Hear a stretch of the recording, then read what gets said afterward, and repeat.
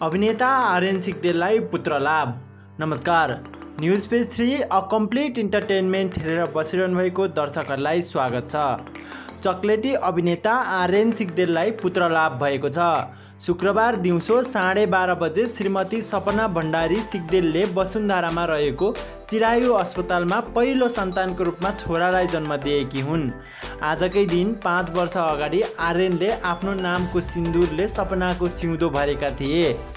आर्यन र सपनाको विक्रम सम्मत दुई हजार एकहत्तर साल वैशाख छ गते प्रेम विवाह भएको थियो। विवाहको पाँचौँ वर्षगाँठकै दिन सपनाले पहिलो सन्तानलाई जन्म दिएकी हुन्। विवाह अगाडि आर्यन र सपना करिब चार वर्ष प्रेम सम्बन्धमा थिए। सपना आर्यनको डाइहर्ट फ्यान थिइन्। आर्यनभन्दा सपना सात वर्ष कान्छी हुन्।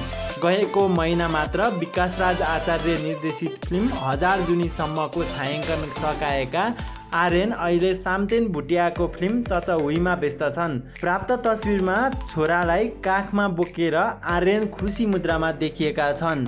शनिबार दिउँसोसम्म अस्पतालबाट सपना छोरासहित डिस्चार्ज हुने बताइएको छ।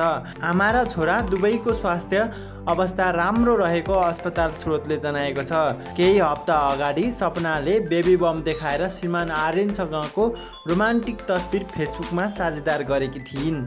हाम्रो च्यानल द स्काई मुभिजलाई सब्सक्राइब गर्न नबिर्सिनुहोला। साथमा छेउमा रहेको बेल आइकनलाई पनि थिच्नुहोस् धन्यवाद।